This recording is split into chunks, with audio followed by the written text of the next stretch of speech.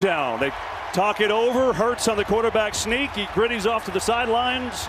And a